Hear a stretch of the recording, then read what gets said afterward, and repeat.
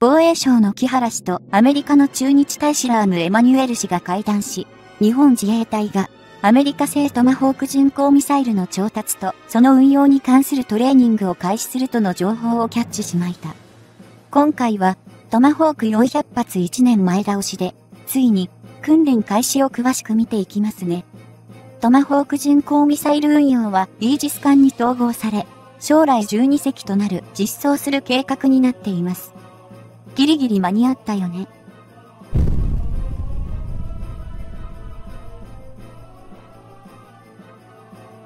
2024年2月14日、防衛省内で、現岸田政権で防衛省を務める木原氏と、アメリカの駐日大使を務めるラーム・エマニュエル氏が会談を行い、日本が調達を進めているアメリカ製のトマホーク巡航ミサイルについての対応が判明した。これは、木原防衛省との会談を終えたエマニュエル駐日大使が、マスコミの取材に答えたことで明かされた内容であり、この2024年3月末より、アメリカ軍側が自衛隊に対するトマホーク巡航ミサイルのトレーニングを開始するというものだった。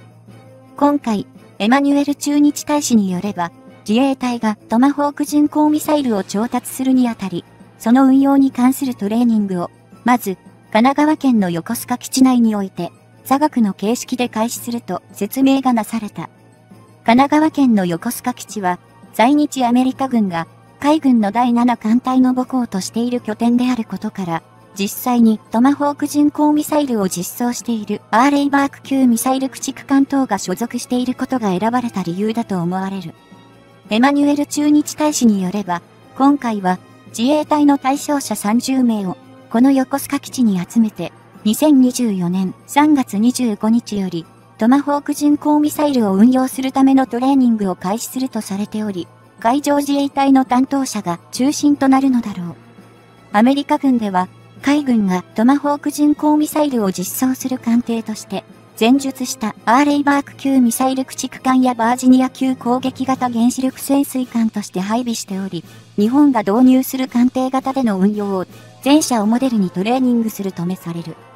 エマニュエル駐日大使は、1964年生まれの64歳の民主党員で、これまでアメリカの下院議員、オバマ大統領時には首席補佐官を務め、その後シカゴ市長を経て、2021年から現職である駐日大使の任に従事している人物だ。直接、軍人としてアメリカ軍に関わった経験をエマニュエル駐日大使は有しているわけではないが、初めてトマホーク巡航ミサイルを運用する自衛隊に対し、入念な運用準備を進めておくことの重要さを説いたものと言えるだろう。日本では、アメリカから調達するトマホーク巡航ミサイルは、この2024年2月時点で8隻を保有、運用中のイージス護衛艦を対象とするものと考えられており、これらは、すべて、アメリカ海軍のアーレイバーク級ミサイル駆逐艦をベースに建造された艦艇だ。海上自衛隊では、このイージス護衛艦の内訳は、現時点では、建造が古い順に混合型4隻、アガ、5型2隻、マヤ型2隻の合計8隻となっているが、2023年度防衛予算案からの大幅な増額を反映し、今後2隻を追加する計画となっている。それに加えて、導入が中止された陸上配備型のイージス・アショアの役割を代替する存在として、従来のイージス護衛艦と同様にイージス兵器システムを搭載するイージスシステム搭載艦2隻の新造も同時並行で進められていく。そのため、将来的に海上自衛隊としては、イージス護衛艦10隻、イージスシステム搭載艦2隻の合計12隻のイージス戦闘システムを実装した艦艇を配備することとなるが、今調達を進めているトマホーク巡航ミサイルは、まず、既存の8隻のイージス護衛艦への統合が見込まれる。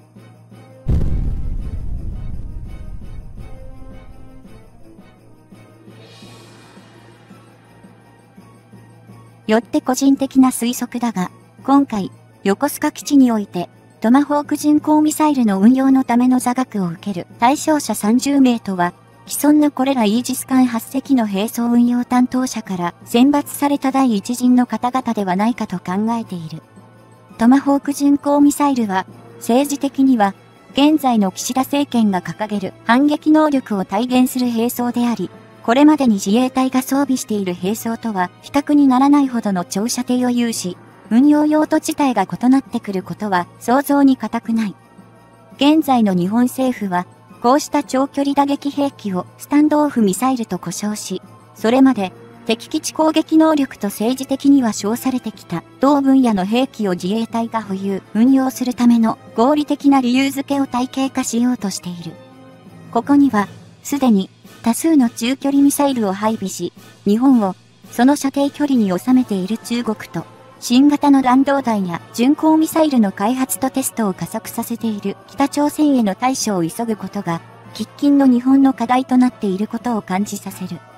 従来の冷戦構造下での時代には、日本の自衛隊は、専守防衛という、錦の大旗のもと、自衛用の兵器の装備に特化し、攻撃という点は、同盟国であるアメリカ軍に丸投げする手法が、政治的にも経済的にも理にかなっていた点は確かにあった。しかし、昨今、軍事技術の飛躍的な進歩の前に、長距離打撃兵器の射程距離は、まさに桁違いに延伸されてきており、自衛目的の兵装とは、いえ、土敵の戦力と対峙し、抑止力を発揮させるためには、同様に長射程化を避けて通れない。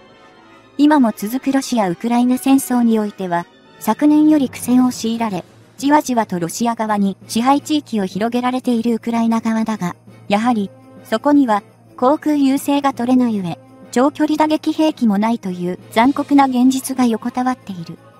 四方を海に囲まれた海洋国家の日本と、ロシアと地続きであるウクライナの防衛を同列に論じることには無理があることは確かだが、ウクライナ側に有効な長距離打撃兵器が的確に供与されていれば、戦況はまた違ったものとなったと思われる。さて、日本のトマホーク巡航ミサイルの調達という事態に話を戻せば、当初の想定であった同ミサイルの最新バージョンであるブロック部の調達から少し変更が生じ、一つ前のブロック4と最新のブロック5を各200発ずつ入手する方向に変わっている。もともと日本政府としては、トマホーク巡航ミサイルの最新バージョンである、ブロック5を2026年度から400発調達することを希望していたが、これを1年間前倒しして2025年度から行うため、半数をブロック4とする折衷案に変更されたという。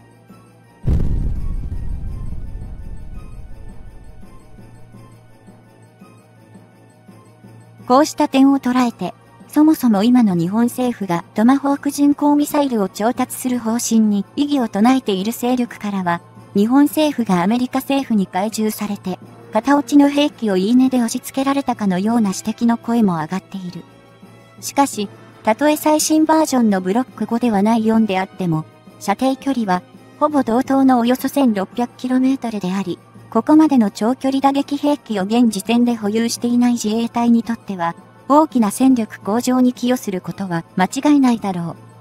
今回のトマホーク巡航ミサイルの調達に関する総費用だが、2023年11月にアメリカ議会に告知された内容によれば、本体のブロック4と5の各200発とこれらを運用するためのイージス護衛艦への完成システム等の付帯費用込みで、約23.5億ドル、日本円換算で約3520億円とされている。もともと、2023年度版の資料内で防衛省が記していたトマホーク巡航ミサイルかかる費用は、ミサイル本体の取得で2113億円、イージス護衛艦への完成システム等の付帯費用で1104億円、合計では約3217億円であり、想定より増加した点は否めない。ここで興味深いのは、イージス護衛艦への完成システム等の付帯費用についてで、今回の内容では、この武器完成システムは、14機となることが決まっており、前述したように、現在、海上自衛隊が保有、運用中のイージス護衛艦への数8隻分を上回っている点だ。これも、先に述べた通り、イージス護衛艦が2隻、イージスシステム搭載艦が2隻追加建造されることは確定しているが、これらを加えても、海上自衛隊のイージス護衛艦等の合計数は12隻であり、武器完成システムは2機多い計算になる。この点は、単なる予備と考えるのか、イージス護衛艦等ではなくとも、MK41VLS を装備する水上戦闘艦への搭載も視野に入れているのか定かではないが、その部分も含め、今後の確定情報のリリースに注目していく必要があるだろ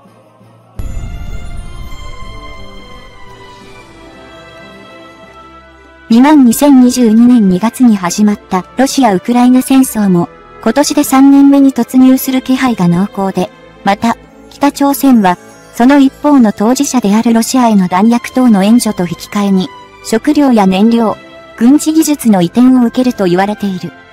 そうした状況を反映してか、昨今の北朝鮮は、何かと韓国を敵対視する方向へと回帰する姿勢を見せ、また、中国は、相変わらず、2024年年初の台湾総統選挙で、民進党の頼行清則氏が勝利を収めたことで、軍事的な恫喝を強化することが想定されている。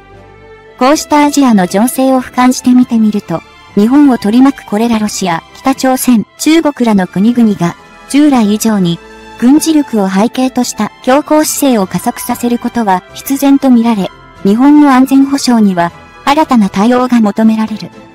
現在の日本の岸田政権は、安全保障の強化の財源として、増税の姿勢を示していることもあり、政治的には不人気で支持率も下降の一途をたどっているが、財源を置いておくとすれば、防衛予算の拡充には取り組みを強化している。自民党と公明党の連立路線を続ける現岸田政権は、まず、2022年末には、国家安全保障戦略、国家防衛戦略、防衛力整備計画のいわゆる安保関連の3文書、名称を含めて改定して閣議決定。防衛力の増強へと舵を切った。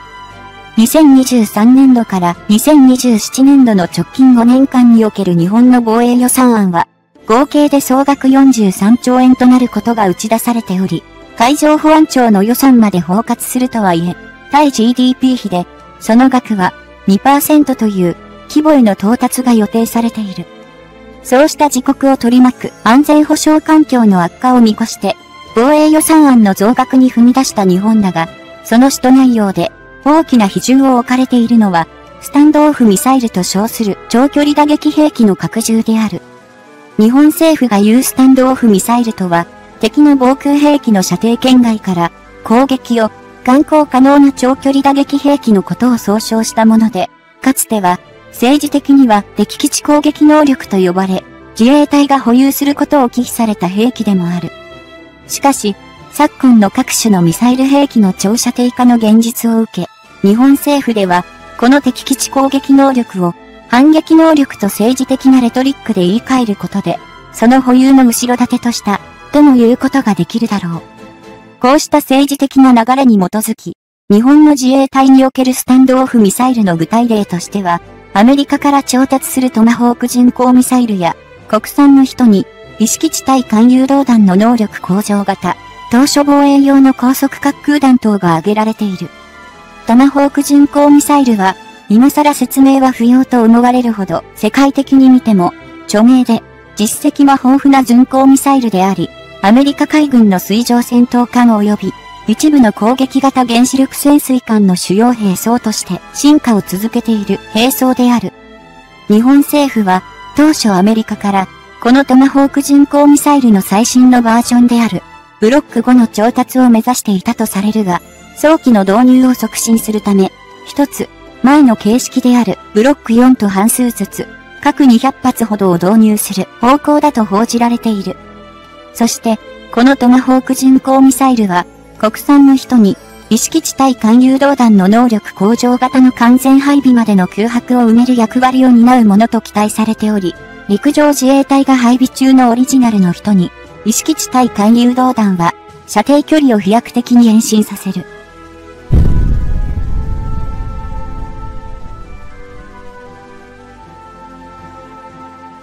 人に、意識地対艦誘導弾の能力向上型は、オリジナルが、最大でも射程距離 200km 弱であることに比して、第1段階でおよそ 900km、最終段階ではおよそ 1500km までの延伸を目標に掲げている。さらに、現行のオリジナルの人に、意識地対艦誘導弾が、陸上の総輪式の車両から運用される自発型のみであることに対し、艦艇に搭載する艦発型や、航空機に搭載する空発型と発射可能なキャリアを多層化し、陸海空の3自衛隊のすべてで運用を目指している。トマホーク巡航ミサイルにせよ、人に、意識地対艦誘導弾の能力向上型にせよ、ミサイル本体の飛翔速度は音速であり、昨今、複数の国で実用化が進む極超音速兵器に比して、その効果を、微部化し、むっ声も一部では聞かれる。しかし、低空を、地形を追従して飛翔する巡航ミサイルは、ある程度の数を同時に使用することで、敵の防空網を突破できる可能性は高く、現在のロシア・ウクライナ戦争の現実を見ても、こうした並走の迎撃が困難であることは明白となっている。日本では、当初は、こうしたトマホーク巡航ミサイルや人に、意識地対艦誘導弾の能力向上型の配備を、2026年からの開始を想定していたが、昨今の、主として、中国側の軍事力の強化に鑑み、1年間の前倒しを行う方向を示している。では、トマホーク巡航ミサイルにせよ、人に、意識地対艦誘導弾の能力向上型にせよ、いかなる発射母体が想定されているのかといえば、まずは、すでに、海上自衛隊の多くの水上戦闘艦に装備されている VLS、垂直発射艦が対象になるだろう。海上自衛隊の保有する水上戦闘艦としては、現在8隻を有するイージス護衛艦が、その筆頭に数えられると思われるが、アメリカ製の MK41VLS 垂直発射艦を、これらの艦艇は90から96セルほどすでに装備しており、比較的軽微な回収で運用が可能となる。だが、こうしたイージス護衛艦のような水上戦闘艦に止まらず、日本では潜水艦でこれらのスタンドオフミサイルの搭載を検討しており、その並走としての運用方法の多層化を図るものと考えられている。現在の日本の海上自衛隊の潜水艦隊は22隻体制が敷かれているが、ご存知のように、いずれも実戦配備中の親潮型8隻、総流型12隻、対芸型2隻は通常動力型の攻撃型潜水艦であり、その主兵装は、男子部の6門の 533mm 魚雷発射艦となっている。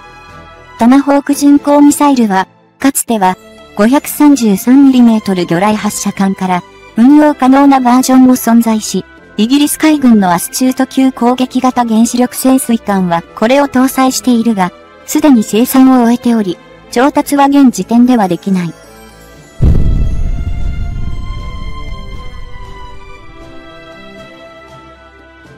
そのため、日本では、初めて、VLS 垂直発射艦を装備する潜水艦を実証実験艦として建造する計画を進めている最中ではあるが、これがいかなるスペックを持つ潜水艦となるのかを含め、詳細は未だはっきりとはしていない。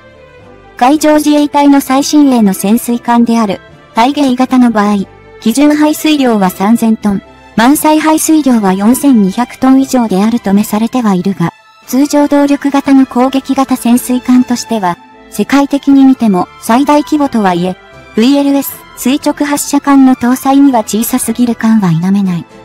ただし、現時点で日本が行おうとしているのが、あくまで初の潜水艦搭載用の VLS 垂直発射艦装置の開発であり、そのコールドローンチを含めた機能面の実証ということであれば、今の大きさで確かめる可能性もあるだろう。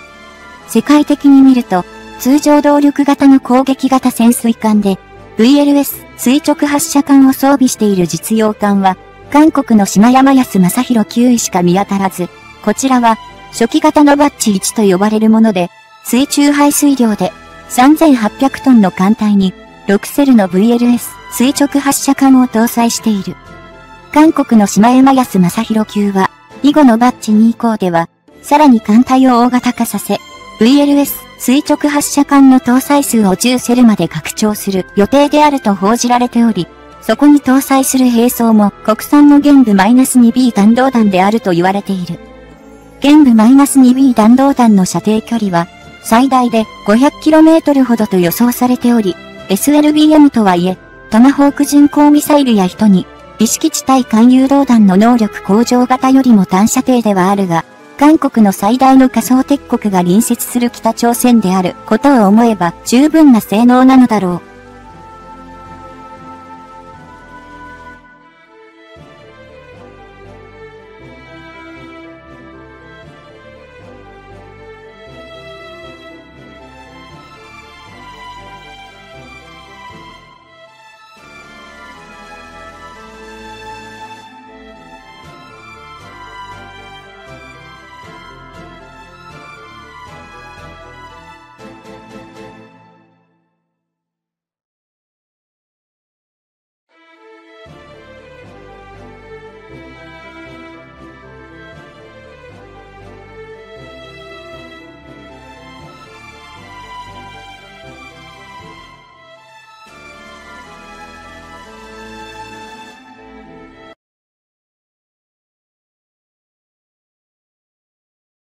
改修工事を行った護衛艦ヒューガ、型と出雲、型は空母となりました。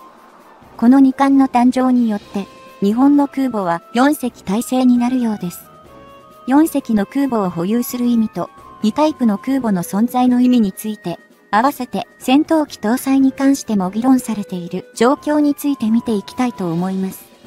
まずは、空母が4隻になる意味について考察します。単魚雷発射艦及びアスロック対戦ミサイル搭載16セルのヒューガと伊勢は別の意味でやばいですね。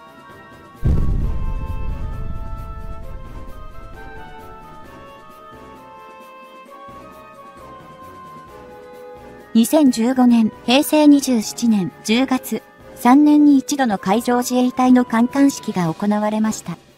これは、海自最大のイベントで、当時、最大の目玉となったのが、最新英語英艦出雲の初登場だったのです。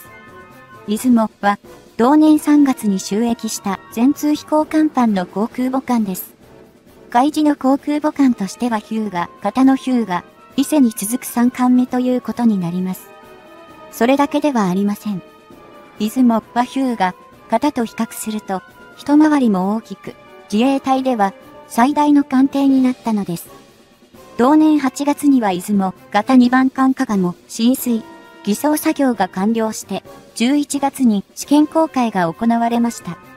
加賀が収益したことで、海上自衛隊はヒューが、型と出雲、型それぞれ2隻ずつ、計4隻の航空母艦を保有することになったのです。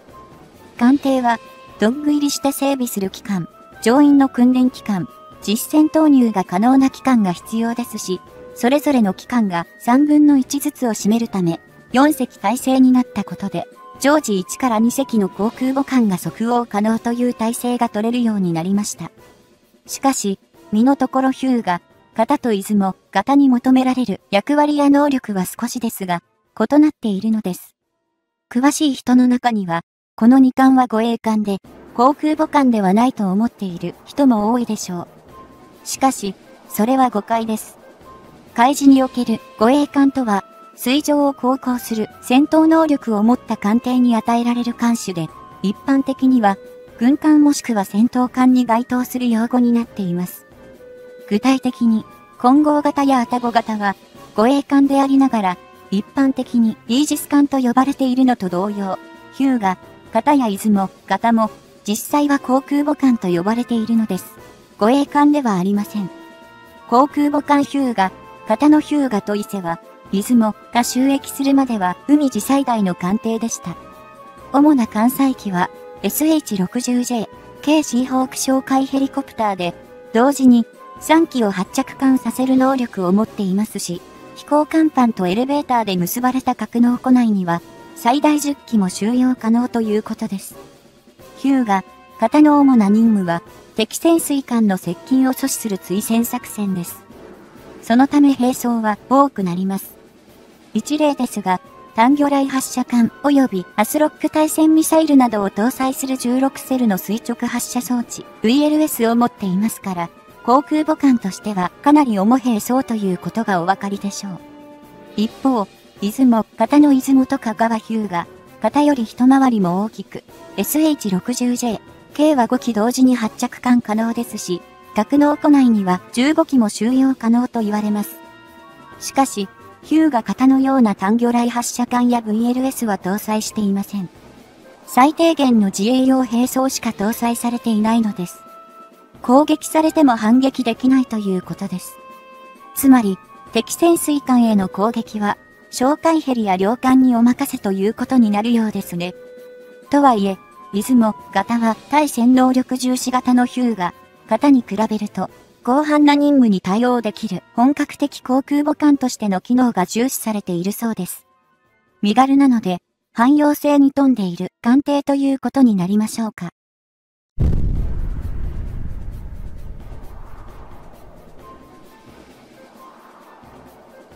例えば、この2館には、手術室と集中治療室がありますが、病床の数が違います。ヒューガ、型は8床、出雲、型は35床です。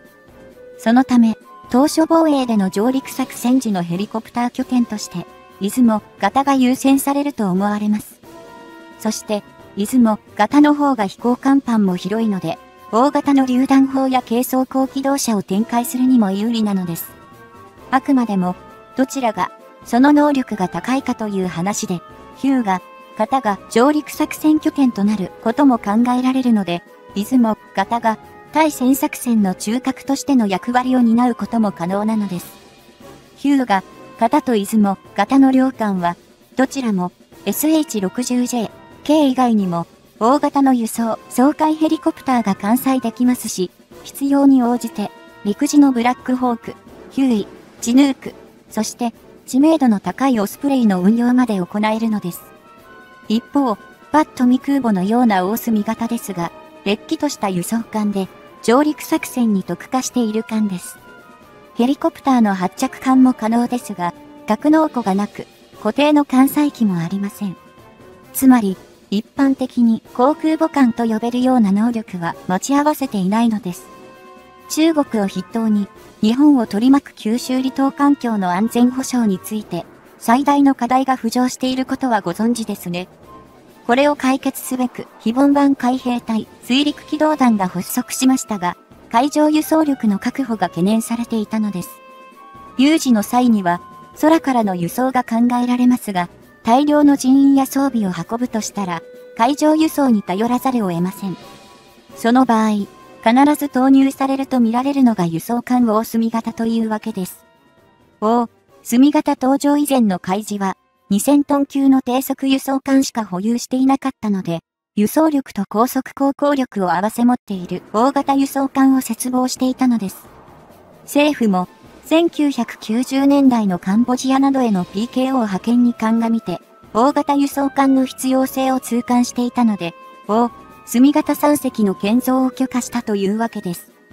従来の海自輸送艦は、海岸に乗り上げるホバークラフト型でしたが、大墨型は沖合に展開し、L 客修艇や輸送ヘリによる揚陸方法を採用することになったのです。L 客修艇とは、アメリカ海軍でもよく目にしますが、最高時速 92km で、戦車1両または大型車両3から4台を一度に海岸まで運ぶことが可能です。大隅型は、陸上自衛隊一個中隊に値する約330名の歩兵を乗せて、長期航行に備えた居住スペースも確保されているそうです。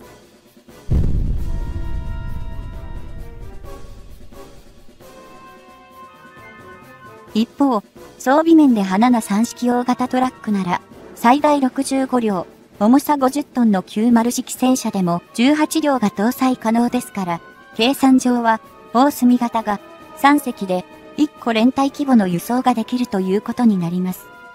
また、海事艦艇としては初の全通式艦板ですから、CH47 輸送ヘリのように、大型のヘリでも離発着が可能ですし、改修工事を行ったので、オスプレイにも対応できるようになったそうです。ただし、前述のように、航空機用の格納庫と整備機能はありませんから、アメリカの強襲揚陸艦などに比べれば、航空運用能力は極めて限定的だそうです。しかし、この間の収益時は、空母や強襲揚陸艦ではないかと指摘されたとか。格納庫もなく、車両用エレベーターしかない様子見型は空母に離れないし、回収して無理くりスキージャンプ台を設置しても22ノットという速力と全長 178M では固定翼機を運用するのは、どう考えても不可能と考えられます。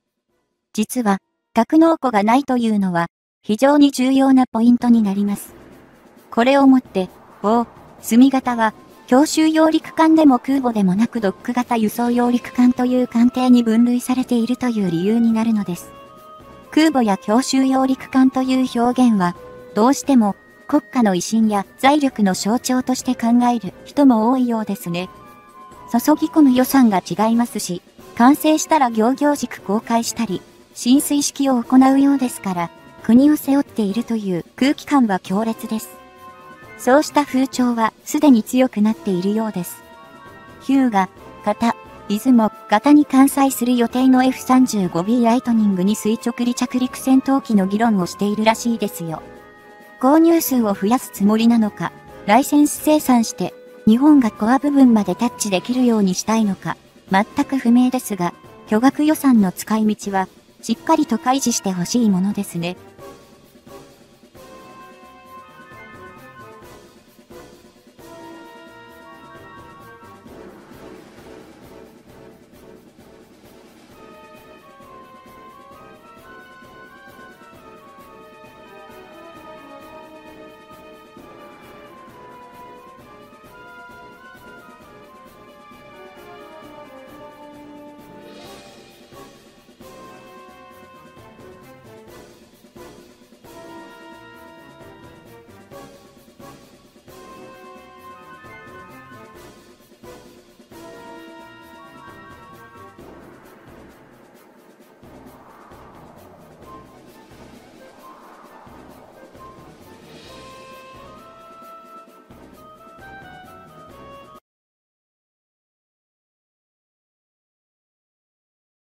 オーストラリアは中国に対する方針を大きく転換し、原子力潜水艦の導入から新たにフリゲート艦へと焦点を移しています。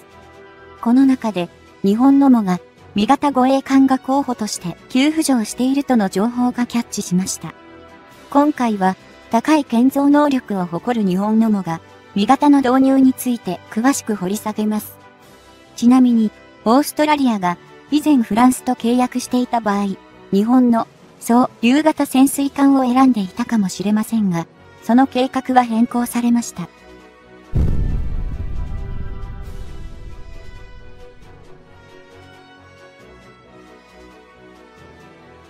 2021年9月にオーストラリア、A、イギリス、UK、アメリカ、US という3カ国による新たな軍事同盟の締結は電撃的に発表され、それぞれの国の頭文字を入れた、その軍事同盟の名称は、オーカスとなることが明かされた。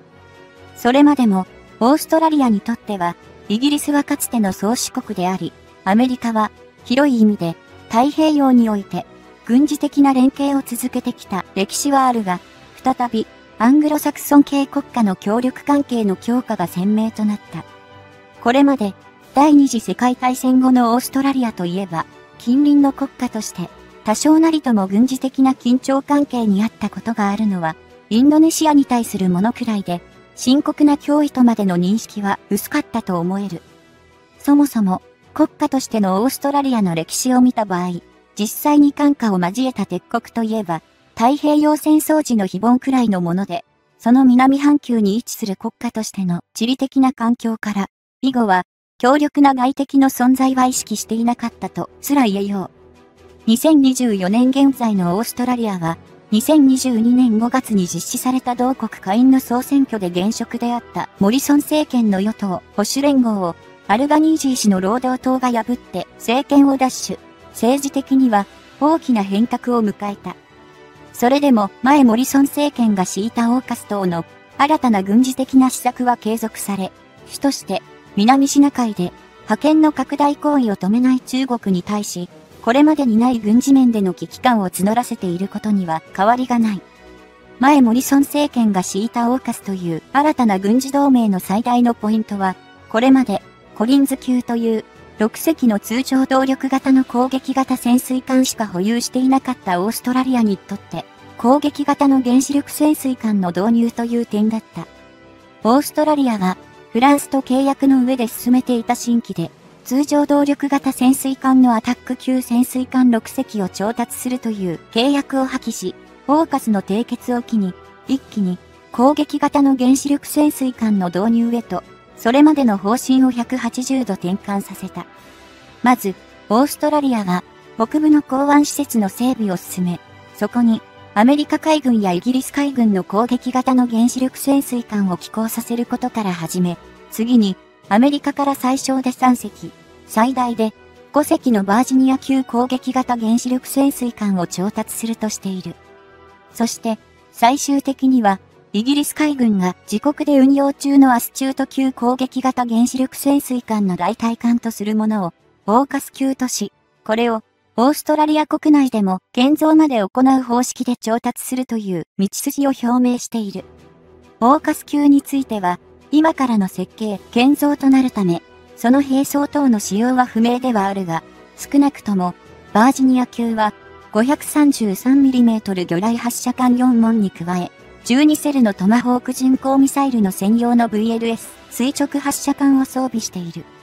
このトマホーク巡航ミサイルの搭載によって、オーストラリア海軍は南シナ海にこのバージニア級を送り込めば、強力な対地攻撃能力を発揮させることが可能となり、南シナ海を手中に収めんとする中国海軍への大きな抑止力となるだろう。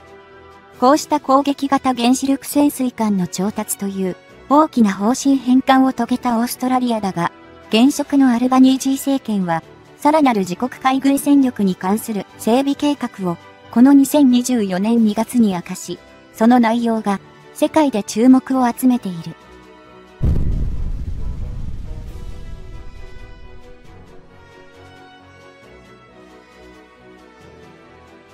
そこで言及されたオーストラリア海軍の戦力に関する整備計画には、大型の無人艦艇、ケースに応じて、有人対応も可能な形式と、汎用的なフリゲート艦の調達を大きな柱として挙げており、特に後者が日本にも関係している。というのもここで言及された汎用的なフリゲート艦の調達内容について、ドイツのブロームウントフォス社製の MEKO A200 型、スペインのナバンティア社製の ALFA3000、日本の三菱重工業社製のモガミ型、韓国の大油造船海洋社製の耐久級が候補に挙げられたためだ。オーストラリアでは、現アルバニージー政権が昨年2023年4月に自国の防衛戦略を改めて確認した結果、昨今最大の仮想敵国となった中国軍を念頭にその長距離打撃兵器の配備数の著しい増加が最大の脅威だと認識するに至っている。最大の仮想敵国となった中国軍の長距離打撃兵器の増加によって、これまでオーストラリアが享受できていた地理的な距離の優位性が低下したと見ており、敵は直接的な自国への上陸を行わずとも、軍事的な強制力を発揮し得ると判断しているようだ。こうした自国の防衛戦略を改めて確認した結果を反映し、オーストラリアでは今後削減するべき戦力と逆に強化する戦力とを明確にし、保有、運用する軍事力をそれに照らした形に適合させるべく再編なりを進める方針である。具体的には、削減すべき戦力の例として、陸軍で進められていた次期歩兵戦闘車の調達数の下方修正、新設する予定であった砲兵連隊の取り消し等が決められ、まさに敵の直接的な自国への上陸を対象とした分野が対象に挙げられている。逆に、M142 高機動ロケット砲システム、通称、ハイマースなどを含む、海上の敵艦艇を攻撃することが可能な長距離打撃兵器の早期の調達や、その数量の増加、また、F35 ライトニング 2A 型や F、A18 スーパーホーネット等の戦闘機への長距離ミサイル JSM の統合を打ち出している。こうした強化する戦力の中に、前述した大型の無人艦艇、ケースに応じて、有人対応も可能な形式と、汎用的なフリゲート艦は含まれており、前者を6隻、後者を11隻調達するという、具体的な数値も示唆されている。このうちの大型の無人艦艇、ケースに応じて、友人対応も可能な形式については、具体的な兵装として、32セル分の VLS 垂直発射管を完備するものとなっており、アメリカ海軍が開発中の同様との艦艇を想定しているとめされている。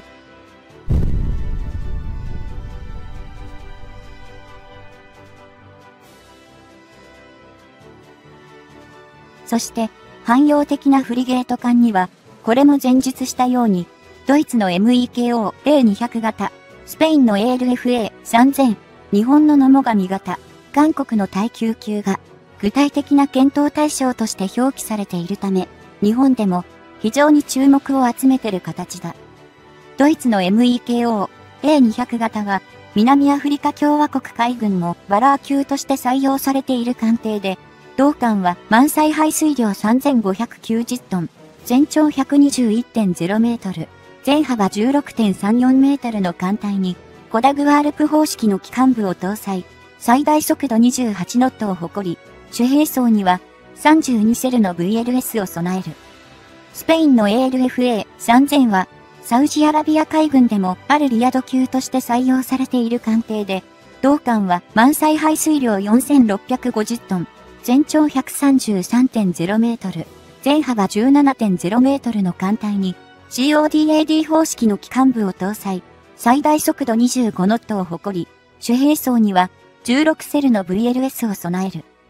日本のモガ味型護衛艦は、現時点での海上自衛隊の最新の水上戦闘艦であり、同艦は満載排水量5500トン、全長133.0メートル、全幅16.3メートルの艦隊に、コダグ方式の機関部を搭載、最大速度30ノットを誇り、主兵装には16セルの VLS を備える。韓国の耐久級は、韓国海軍では2018年から収益を始めた新鋭艦であり、同艦は満載排水量3592トン、全長122.0メートル、全幅14.0メートルの艦隊に、コットログ方式の機関部を搭載、最大速度30ノットを誇り、主兵装には16セルの VLS を備える。ここに列挙した仕様だけを比較すれば、日本のもが、味型護衛艦が最も大型ではあるが、並走面では、VLS、垂直発射艦は、16セルと控えめであるため、長距離打撃兵器の数を増加させることを表明しているオーストラリアにとっては、同32セルに増強されると言われる時期 FFM の方が向いている可能性もありそうだ。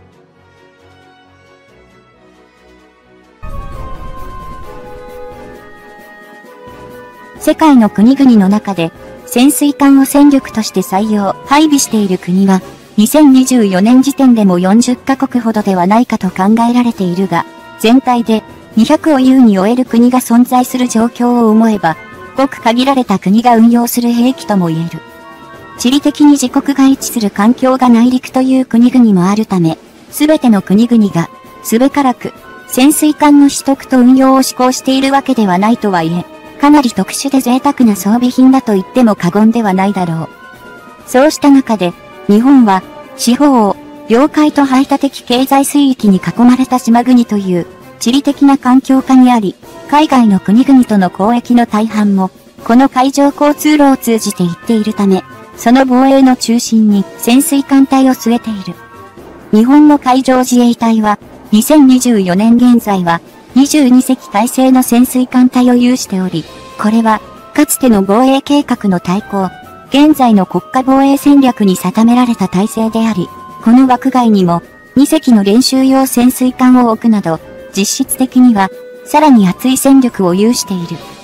日本は、1945年8月の太平洋戦争の敗戦の後、アメリカを中心とする連合国から、潜水艦の保有を禁じられていた時期もあったが、旧ソ連陣営とアメリカ陣営との間で冷戦構造が激化したことで再度保有が解禁された経緯を持つ。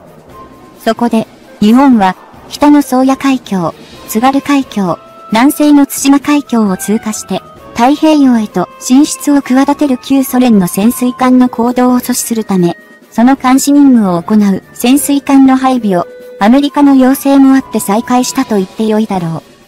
当初こそ、アメリカが第二次世界大戦中に建造したガトー級潜水艦の譲渡を受けて潜水艦隊を復活させた日本の海上自衛隊だったが、1965年に収益させた大潮から国産化を再開。ここから今まで建造技術の継承を続けている。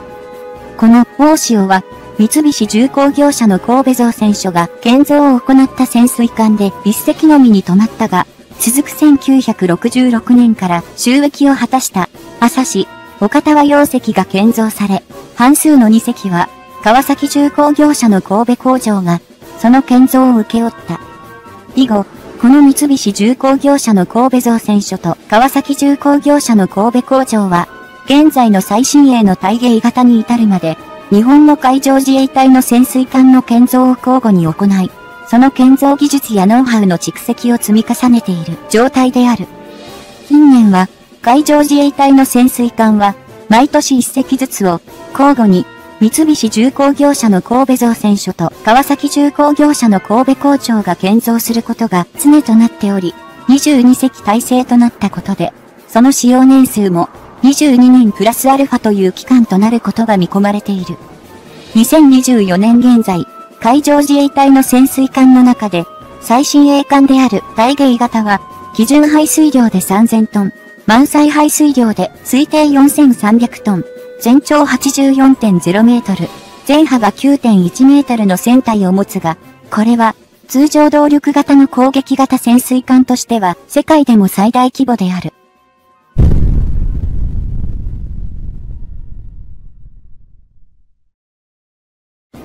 大芸型の通常動力型の攻撃型潜水艦としての機関は、ディーゼル機関、リチウムイオン蓄電池とモーターで構成されており、リチウムイオン蓄電池の性能によって、従来よりも、先行時間や作戦行動半径が大幅に向上したとされている。この大芸型の場合、現在の海上自衛隊の最新鋭の潜水艦ということで、最大出力や水中の航行速度等のデータは開示されていないが、同様な機関構成を備える前級の、そう、竜型の後期2隻の使用を見ることである程度の推察は可能だ。そう、竜型の後期型2隻は、水中での能力値として、最大出力5600馬力、最大速度18ノットという値が公開されているため、大芸型では、これに若干のプラスが行われているものと見る向きが大勢を占めている。こうした機関構成に加えて、大芸型は通常動力型の攻撃型潜水艦として、並走には、艦首部に、6門の 533mm 魚雷発射管を備えており、ここから、対艦戦闘用の18式超魚雷やハープーンブロック2ミサイルを運用する仕様となっている。これらの並走は、大芸型と同時に運用されている前級の、そう、竜型、前々級の親潮型と同様なものであり、専守防衛を旨とする海上自衛隊の潜水艦として、日本の周辺の主要な海峡で待ち伏せ攻撃を行うことを起としている。大芸型の収益によって、従来よりも作戦行動半径が大幅に拡張されたと見る向きの一部には、従来の待ち伏せに止まらず、積極的な移動を行うようになると指摘する声もあるが、通常動力型潜水艦の速度では難しいと個人的には思える。原子力推進型の他国の攻撃型潜水艦の水中における移動速度は、おおむね30ノット前後と水上戦闘艦と同等以上の高速を発揮することが可能であるため、移動しながらの攻撃も考えられるが、20ノット前後ではそれは期待できないだろう。こうした通常動力型の攻撃型潜水艦の能力的な限界を考慮して、原子力推進型の攻撃型潜水艦の取得へと、大きく装備品の調達方針を変更することを決断したのが、2021年以降のオーストラリアだと言って過言ではないだろう。オーストラリアは、2021年9月に、電撃的に、アメリカとイギリスとの間で、新たな軍事的な枠組みであるオーカスを締結したことを発表し、それまでの自国海軍における潜水艦の調達計画を180度転換させることを打ち出した。それまでのオーストラリア海軍は、1996年から2003年にかけての7年間をかけ、スウェーデンのメステルイエトランド級をベースに大型化させたコリンズ級という、通常動力型の攻撃型潜水艦を6隻調達し、運用を行っていた。